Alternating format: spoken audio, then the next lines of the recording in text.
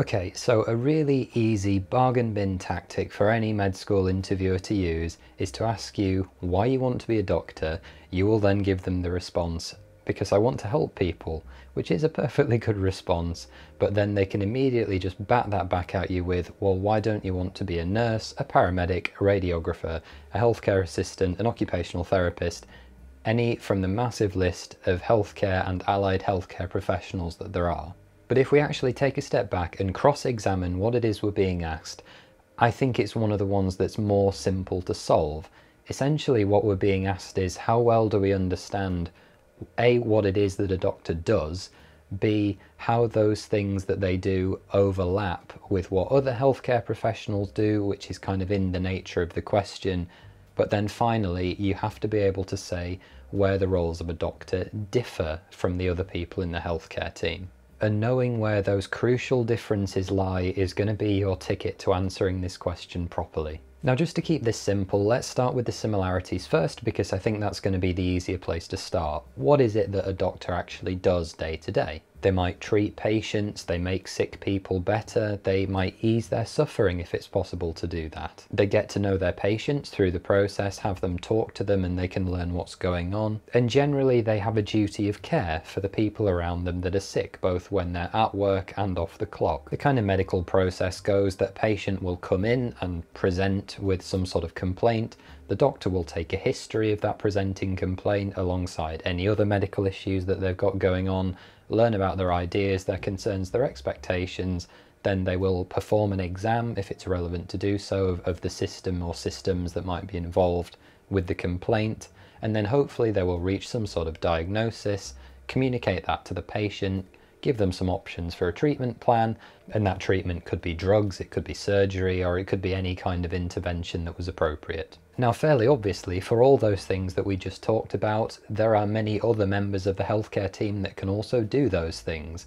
Paramedics, for example, are going to be the people that deal with first. Paramedics, for example, in emergency settings are going to be the ones that come across a patient and have to deal with them quickly. And nurses are a great example to talk about because with further training, they can not only diagnose conditions themselves, but they can prescribe some medications as well as I believe can the relatively new group that is physician associates. Basically, I think the thing to be aware of is that increasingly um, non-doctor health professionals are able to do more and more and more, which is obviously good because it relieves the workload on doctors.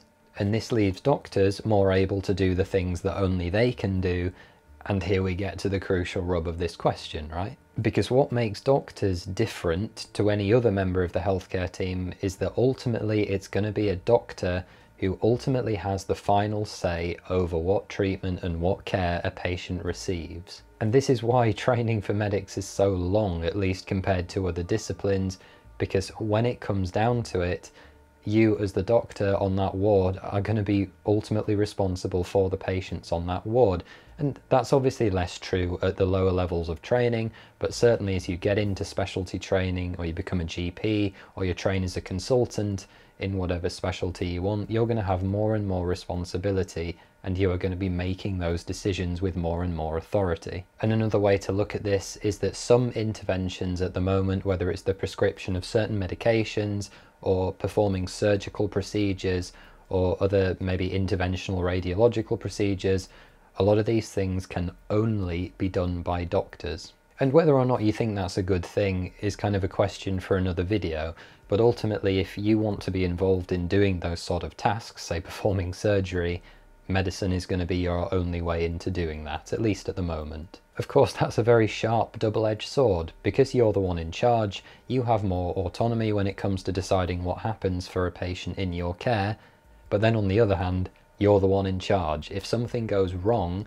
based on a decision you made, it's very much your fault. If you get the diagnosis and the treatment plan right, that must feel absolutely amazing.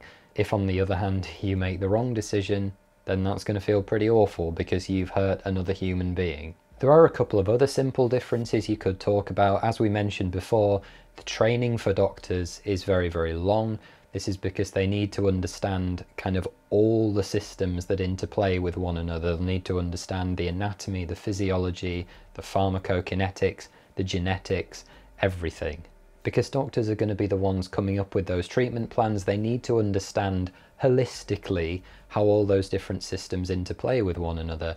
And of course, a doctor is not going to know as much about genetics as maybe a biomedical scientist that's very into their genetics. You'll notice very quickly on the ward that doctors are not as good at doing certain procedures, like taking blood is a really good example, as nurses are, for example, on average, because different roles within the healthcare team do their different things and they all do them very well. That said, doctors within medicine and the actual delivery of medicine as far as patients are concerned tend to specialise a lot more in one niche area. Again, going back to the example of nurses, because nurses are amazing and they do everything, um, nurses could quite happily work between obviously a variety of different wards quite happily, whereas doctors, as they train towards being consultants and they come and they become more and more hyper specialized, um, their kind of usefulness for general medicine will go down. You wouldn't send an orthopedic surgeon to be kind of directing patients on the stroke ward. It wouldn't make a lot of sense based on the training they've had. As far as I'm concerned, I think a good answer to this question is going to revolve around that central authority. You, as the medic, are going to be the one making the decisions at the end of the day and bearing the responsibility that goes along with that as well as the ability to really heavily specialize in your area of interest. Those are, I think, the two central things that are going to make that path different to others. And these are, of course, just some example talking points to get you started. As with all of these videos, the one thing I think you should absolutely never do when tackling a question like this is denigrate anyone. It's never going to be a case of doctors know more than nurses, or nurses know more than paramedics, or that's just not the way the system works. NHS healthcare teams have a bunch of different roles. Obviously, all of them, their central goal is to make sure that patients are well looked after, but all of the different roles have their own training. All the roles are very well defined, and the people that fill them are trained to be good at the particular things they're meant to do. Doctors are trained to be doctors, nurses are trained to be nurses, paramedics trained to be paramedics, and so on. In your medical school interview, you need to show that you've thought carefully about what it is that a doctor does, what it is that the other members of the healthcare team do, and the fact that you've realised that the doctor pathway is the one you want, but you need to be able to demonstrate that you understand why. That's what they're looking for with a question like this. Thanks very much for watching guys, please be sure to hit that like button for me, leave a comment, subscribe to the channel and don't forget to go and check out postgradmedic.com to find my other videos and articles. You can find me on social media, Facebook, Instagram and Twitter at postgradmedic. Take care and I will see you in the next video. Bye bye.